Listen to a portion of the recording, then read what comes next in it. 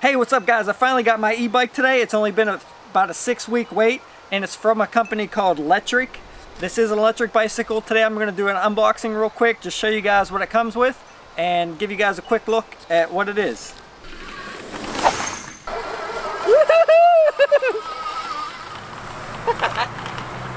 so this thing is supposed to already be put together. Pretty much all you got to do is unfold it and take off the packaging. So we're going to go ahead and see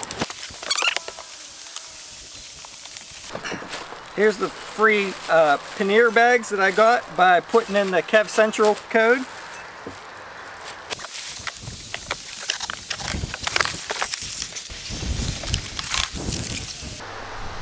Alright, so there it is there. We're going to cut these zip ties and go ahead and start taking the packaging off. Can I? Can you throw all that stuff in the big box? I want to take the ride it. That's what I want to do. Me too.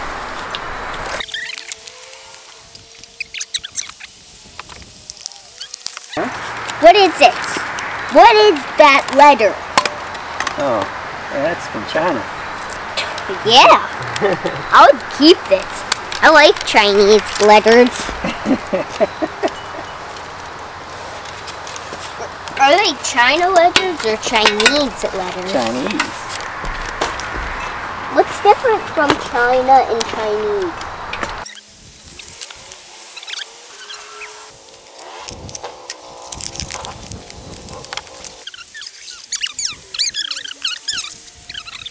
Alright guys, so there it is. I got it unboxed. Uh, pretty easy. Uh, there is some damage here where it goes together. It's banged up pretty good. So I'm going to have to go ahead and send Lectric an email about that. Uh, it actually looks like the frame might be bent right there where it goes together.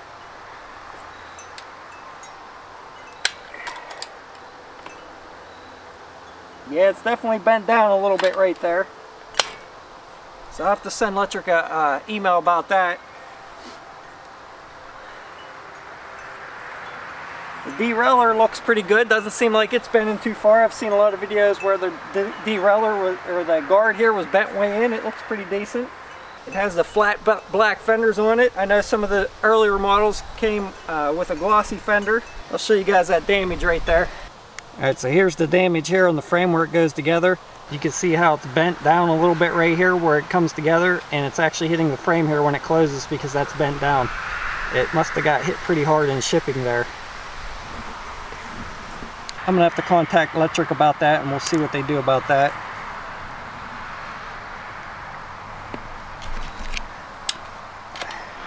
Alright guys, another thing I noticed, it was missing this little screw here in the tail light on the back. It must have came out in shipping, but I was able to find the screw in the box. It looks like it just threads right into the plastic of the tail light. So I'm hoping that I can put that back in there and that, that stay on there.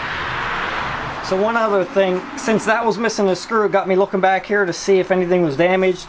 And you could tell that this back rack is way off center with this center fender. That back rack is, is bent way over. You can see how this right here is bulged out a little bit right here. And on this side, kind of bowed in right here. So I'm going to try to bend it back over, straighten up a little bit, but yeah, I don't know. They might have to send me a new rack depending on uh, how straight I can get this one on there. And then you can see the paint's off a little bit here on the corner as well. So we might have to see how good the uh, customer service is. Another thing I noticed is that the bracket that the bike sits on when it's folded up is really bent to the left hand side. As you can see here in my pictures, the one side I believe should be at least straight and I'm pretty sure the other side should have a slight bend to it, but I'm I think one side should be at least straight. So if you guys have these bikes and uh, yours is bent or if this is normal, please let me know in the comments below, but I'm pretty sure that this is not normal. One thing I noticed when you get it, these tires hardly have any air in them. They're only aired up to about five and a half pounds of pressure here on my digital gauge. I'm gonna go ahead and put about 20 pounds each in them. Let's see, the rating on here is 30 PSI, but I'm gonna keep it around 20. That way it gives it a little bit of cushion still. I'll put a link in the description below for the gauge on Amazon, and I'll also link a video I did on a review on this gauge if you guys are interested. All right guys, 20 in that one. And if you need one of these uh, gauges, you can actually, you don't have to use it with the air compressor, you could just measure the pressure in your tire with this, and then you have an inflator as well. This thing's cheap, but it's a it's a great one. I'll put a link below uh, if you guys are interested in if you guys don't have a good tire gauge.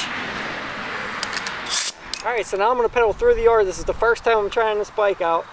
I'm going to leave it off of PAS and just leave the motor completely off. Going to try to pedal to see how hard it is pedaling up this small grassy hill.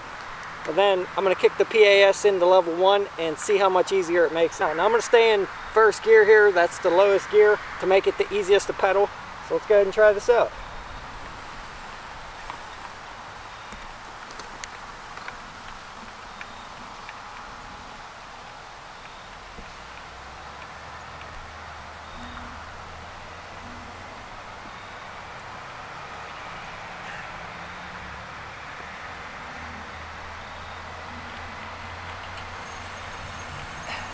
All right, so, so that was with the motor completely off. Now I'm going to do PAS1.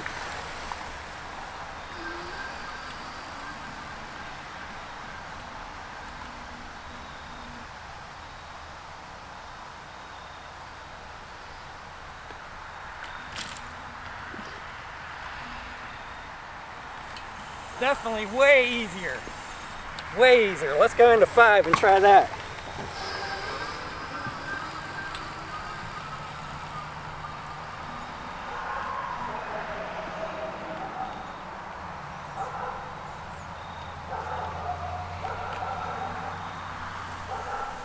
Way, way, way easier.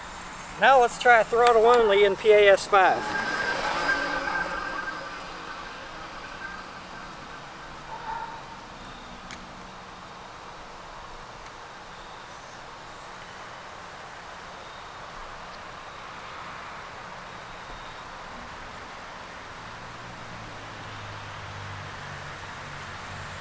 I know it made it, but I would definitely want to assist it with pedaling because it was drawing 19 amps of current that time in PAS5 with just throttle. I'm going to see how much current it draws with me pedaling it in PAS5.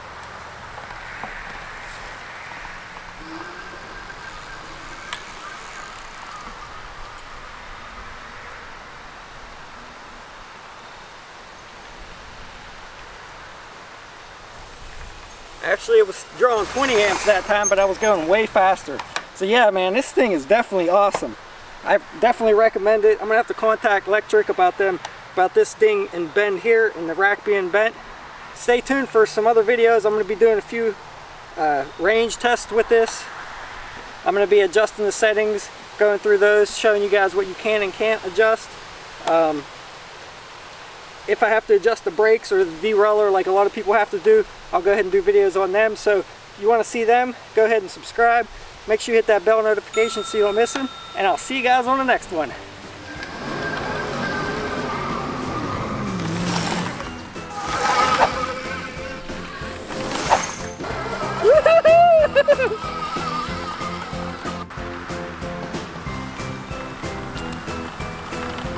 Ha ha ha!